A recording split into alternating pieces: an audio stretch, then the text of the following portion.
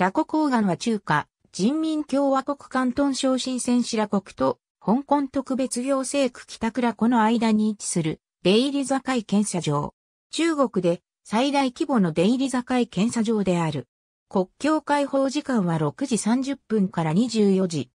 香港と新鮮を移動する旅客のメインゲートであり、香港側は港鉄ラ湖駅が設置され、香港側は東鉄線により移動しなければならない。また新鮮側は新鮮駅前広場となっており、ラコ商業場、新鮮駅、新鮮バスターミナルなどが立地している。また、新鮮地下鉄1号線ラコ駅が市内各地と連絡している。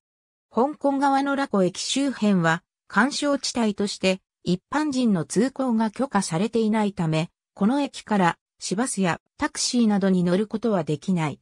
香港国際空港へのバスは一駅隣の港鉄、上水駅から利用することになる。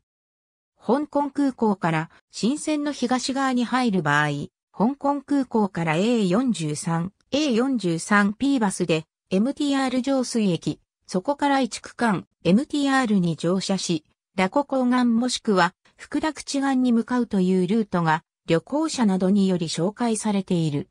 新線側のラコ港岸ビルには車寄せがあり、タクシーなどで乗り入れることができる。